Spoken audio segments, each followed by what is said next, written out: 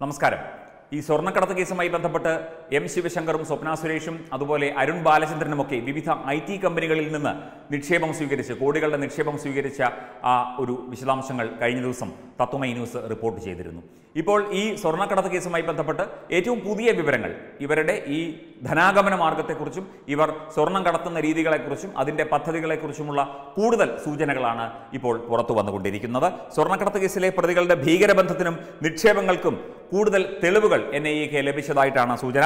കേസിൽ കൂടുതൽ പ്രതികൾ ഉണ്ടാകും എന്ന് ചൂണ്ടിക്കാട്ടി എൻ ഐ എ അതുപോലെ കോടതിയിൽ നൽകിയ റിമാൻഡ് റിപ്പോർട്ടിൽ ഇക്കാര്യം വിശദമാക്കുന്നുണ്ട്. ഫൈസൽ ഫരീദിനെ ദുബായിൽ നിന്ന് നാട്ടിലെത്തിക്കുന്നതോടെ എൻ ഐ എ അന്വേഷണത്തിന്റെ നിർണായക ഘട്ടത്തിലേക്കായിരിക്കും കിടക്കുക. ഇപ്പോൾ ഫൈസൽ ഫരീദ് ഇന്റർപോൾ വരെ നോട്ടീസ് പുറപ്പെടുവിച്ച വ്യക്തിയാണ്. അയാളെ അവിടെ അവിടെ ഇപ്പോൾ അവിടെ നിന്ന് നമ്മുടെ നാട്ടിലെത്തിച്ച് ചോദ്യം ചെയ്യുന്നതിനുള്ള നടപടിക്രമങ്ങളാണ് ഇപ്പോൾ എൻ ഐ എ ചെയ്തുകൊണ്ടിരിക്കുന്നത് പുരോഗമിച്ചുകൊണ്ടിരിക്കുന്നത്. വിവിധ കോൺസുലേറ്റുകളും വിവിധ എംബസികളുമായി ബന്ധപ്പെട്ട നടപടിക്രമങ്ങൾ നടത്തിക്കൊണ്ടിരിക്കുന്നു. ഫൈസൽ ഫരീദിന്റെ സിനിമാ ബന്ധവും സിനിമാ മാഫിയ ബന്ധവും തീവ്രവാദ ബന്ധവും ഒക്കെ തന്നെ കഴിഞ്ഞ ദിവസങ്ങളിൽ തത്വമൈ ന്യൂസ് വിശദമായി വാർത്തകൾ നൽകിയിരുന്നു. ഇപ്പോൾ പുതിയ ചില സൂചനകൾ കൂടി ഈ അന്വേഷണവുമായി ബന്ധപ്പെട്ട് പുറത്തു വന്നുകൊണ്ടിരിക്കുന്നു. വിദേശത്ത് നിന്ന് ഭീമമായ തോതിൽ സ്വർണം കടത്തിയത് രാജ്യത്തിന്റെ സാമ്പത്തിക ഭദ്രത തകർക്കാനുള്ള ശ്രമമാണെന്നാണ് റിമാൻഡ് റിപ്പോർട്ടിൽ എൻ ഐ എ സൂചിപ്പിച്ചിരിക്കുന്നത്. സ്വർണക്കടത്തിലൂടെ കിട്ടിയ പണം വിവിധ മാർഗങ്ങളിലൂടെയാണ് ഭീകര പ്രവർത്തനത്തിലേക്ക് എത്തുന്നത്. ഇതിൽ തമിഴ്നാട് കർണാടകം തുടങ്ങിയ സംസ്ഥാനങ്ങൾ കേന്ദ്രമായി പ്രവർത്തിക്കുന്ന ചിലർ ഉണ്ട് എന്ന ഒരു പുതിയ സംശയം കൂടി ഈ ഒരു വിഷയത്തിലുണ്ട്. തീവ്രവാദ പ്രവർത്തനവുമായി ബന്ധപ്പെട്ട് തമിഴ്നാട് പോലീസ് പിടികിട്ടാപ്പുള്ളികളായി പ്രഖ്യാപിച്ച ചിലരും ഇക്കൂട്ടത്തിൽ ഉണ്ട് എന്നാണ് റിപ്പോർട്ട്. വിദേശത്ത് നിന്ന് കടത്തിയ സ്വർണം എത്തിച്ചേർന്ന കേന്ദ്രങ്ങൾ കണ്ടെത്താനാണ് ഇപ്പോൾ എൻ ഐ എ ശ്രമിക്കുന്നത്. മലപ്പുറം സ്വദേശി കെ ടി റമീസ് അതുപോലെ മൂവാറ്റുപുഴ സ്വദേശി ജലാൽ ഇവരാണ് കേരളത്തിൽ ഇതിന് നേതൃത്വം നൽകിയത്. വിവിധ മേഖലകളിലേക്ക് വിവിധ ഭാഗങ്ങളിലേക്ക് വ്യാപാരികൾക്ക് സ്വർണക്കടത്തുകാർക്ക് ഒക്കെ ഈ സ്വർണം കടത്തുന്ന സ്വർണം കള്ളക്കടത്ത് സ്വർണം എത്തിക്കുന്നതിനുള്ള പരിപാടികൾക്ക് നേതൃത്വം നൽകിയത് എന്ന നിഗമനത്തിലേക്കാണ് എൻ ഐ എ എത്തിക്കൊണ്ടിരിക്കുന്നത്. തീവ്രവാദവുമായി ബന്ധപ്പെട്ട കേസുകളിലെ അറസ്റ്റിലായ അറസ്റ്റായതിനാൽ അതുമായി ബന്ധപ്പെട്ട അധികാരങ്ങളും പ്രയോഗിക്കാം എന്നാണ് എൻ ഐ എ ഇപ്പോൾ നിരീക്ഷിക്കുന്നത് ഈ ഒരു വിഷയത്തിൽ. അതായത് കേരളത്തിന്റെ വിവിധ മേഖലകൾ മധ്യ തിരുവിതാംകൂർ അതുപോലെ കോഴിക്കോട് മലപ്പുറം വടക്കേ മലബാർ അതുപോലെ തിരുവനന്തപുരം ഈ മേഖലകളെല്ലാം കേന്ദ്രീകരിച്ച് കേരളത്തിന്റെ അങ്ങോളം ഇങ്ങോളമുള്ള എല്ലാ സ്ഥലങ്ങളും കേന്ദ്രീകരിച്ചുകൊണ്ടുള്ള സ്വർണക്കടത്ത് നെറ്റ്വർക്കാണ് അതിനെക്കുറിച്ചാണ് ഇപ്പോൾ അന്വേഷിച്ചുകൊണ്ടിരിക്കുന്നത്. ഒപ്പം തമിഴ്നാട് കർണാടകം തുടങ്ങിയ സംസ്ഥാനങ്ങളുമായും അഭേദ്യമായ ഒരു ബന്ധം ഈ സ്വർണക്കടത്ത് ശൃംഖലയ്ക്കുണ്ട്. കാരണം മംഗലാപുരം എയർപോർട്ടുമായി ബന്ധപ്പെട്ട് സ്വർണക്കടത്തിലെ വിവിധ കേസുകളുണ്ട്. അവിടെയും നിരവധി തവണ സ്വർണം പിടിച്ചിട്ടുണ്ട്.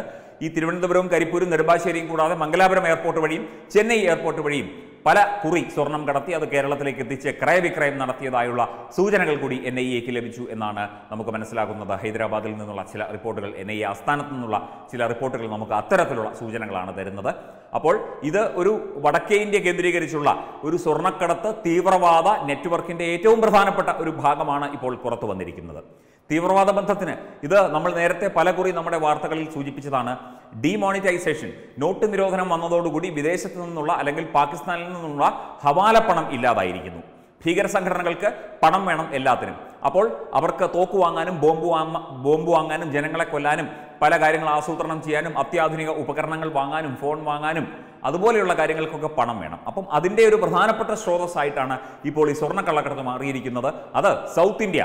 അതായത് കേരളവും തമിഴ്നാടും കർണാടകയും ഒപ്പം കേന്ദ്രീകരിച്ചുള്ള ഒരു പ്രവർത്തനമാണ്. അതിന്റെ വേരുകളാണ് ഇപ്പോൾ ഈ തമിഴ്നാട്ടിലേക്ക് കൂടി ഇപ്പോൾ പടർന്നു പിടിച്ചിരിക്കുന്നത് എന്ന സൂചന എൻ ഈക്ക് ലഭിച്ചിട്ടുണ്ട്. എന്തായാലും തമിഴ്നാട് കേന്ദ്രീകരിച്ചും കർണാടകം കേന്ദ്രീകരിച്ചും. വിശിഷ്യ മംഗലാപുരം ബംഗളൂരു ഇവ കേന്ദ്രീകരിച്ചും അന്വേഷണം നടക്കുന്നു. അതുപോലെ തന്നെ സ്വപ്ന ബംഗളൂരുവിലെത്തി. ബംഗളൂരുവിലെത്തിയത് ഇപ്പോൾ അവർ താമസിച്ച ഹോട്ടൽ നമ്മുടെ മുഖ്യമന്ത്രിയുടെ മകളുടെ ഓഫീസിന് തൊട്ടടുത്താണെന്നൊക്കെ പറയുന്നു. അതുകൊണ്ടാണ് അവർ അവിടെ എത്തിയത് എന്നൊന്നും നമുക്കറിയില്ല. അവരെ എങ്ങനെ ഒളിപ്പിച്ച് കടത്തി എങ്ങനെ കൊണ്ടുപോയി അതും നമുക്കറിയില്ല. അതിന്റെ അന്വേഷണം നടക്കുന്നുണ്ട്. പക്ഷേ ബംഗളൂരു ഈ സ്വർണക്കടത്തിന്റെയും കള്ളക്കടത്തിന്റെയും ഒക്കെ ഒരു പ്രധാനപ്പെട്ട കേന്ദ്രമായി കുറേ നാളുകളായി കേരളവുമായി ബന്ധപ്പെട്ട്. അതായത് ബംഗളൂരുവിൽ എത്തിച്ച് അവിടെ നിന്ന് കേരളത്തിലേക്ക് പല മേഖലകൾ മേഖലകൾ വഴി മൈസൂർ ഗുണ്ടൽപേട്ട വയനാട് വഴി വടക്കേ മലബാറിലേക്ക് കോഴിക്കോട്ടേക്ക് മലപ്പുറത്തേക്ക് ഒക്കെ സ്വർണം കടത്തുന്ന രീതികളെക്കുറിച്ചൊക്കെ എൻ ഐ എക്ക് വ്യക്തമായ സൂചന ലഭിച്ചിട്ടുണ്ട്. അല്ലെങ്കിൽ ഇങ്ങനെയൊന്നും നമുക്ക് പറയാൻ കഴിയില്ലല്ലോ. എൻ ഐ എ തരുന്ന റിപ്പോർട്ടുകൾ അനുസരിച്ചാണ്. അല്ലാതെ ഇതിന്റെ റൂട്ട് മാപ്പൊന്നും നമുക്ക് ഇപ്പം കൊറോണ പിടിച്ചവരുടെ റൂട്ട് മാപ്പ് തപ്പി നടക്കുന്നത് പോലെ സ്വർണക്കടത്തിന്റെ റൂട്ട് മാപ്പ് തപ്പി നടക്കാൻ പറ്റുമോ? കാരണം എല്ലാം പബ്ലിക്കായിട്ട് ചെയ്യുകയല്ലല്ലോ ചെയ്യുന്നത് സ്വർണമാണെന്ന് പറഞ്ഞ് കൊണ്ടുവരുന്നത് വേറെ എന്തെങ്കിലും സാധനമായിരിക്കും. പിന്നീടാണ് മനസ്സിലാകുന്നത് അണ്ടർവെയറിനടിയിലും അവിടെയും ഇവിടെയും ഒക്കെ സ്വർണം ഒളിപ്പിച്ചിട്ടുണ്ട് എന്നുള്ള കാര്യം. അതിന്റെ ഒരു വീഡിയോയും തത്വമേ ന്യൂസ് വാർത്തയായി നൽകിയിരുന്നു. അപ്പോൾ ഇത് സൗത്ത് ഇന്ത്യ കേന്ദ്രീകരിച്ചുള്ള ഒരു വലിയ തട്ടിപ്പിന്റെ ഒരു പ്രധാനപ്പെട്ട ഭാഗമാണ്. ഇപ്പോൾ പുറത്തു വരുന്നത്. ഇത് കേരളം മാത്രം ഉൾപ്പെടുന്നതല്ല നേരത്തെ പറഞ്ഞതുപോലെ തമിഴ്നാടും കർണാടകവും ഒക്കെ ഇതിന്റെ ഭാഗമായി വരും. എൻ ഐ എ ദക്ഷിണ മേഖല ആസ്ഥാനം ഹൈദരാബാദിലെ ഉദ്യോഗസ്ഥർക്കാണ് ഇതിന്റെ ചുമതല. അതുകൊണ്ട് തന്നെ സൗത്ത് ഇന്ത്യയ്ക്ക് എതിരീകരിച്ചുള്ള കൂടുതൽ അന്വേഷണങ്ങൾ വരും ദിവസങ്ങളിൽ നടക്കുമെന്നാണ് നമുക്ക് അറിയാൻ സാധിക്കുന്നത്. വെബ് ഡെസ്ക് തത്വമൈ ന്യൂസ്.